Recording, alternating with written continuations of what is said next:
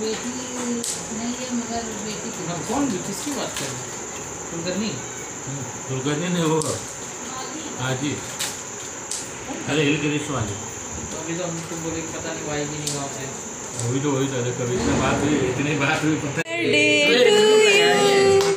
Happy birthday to you, Papa.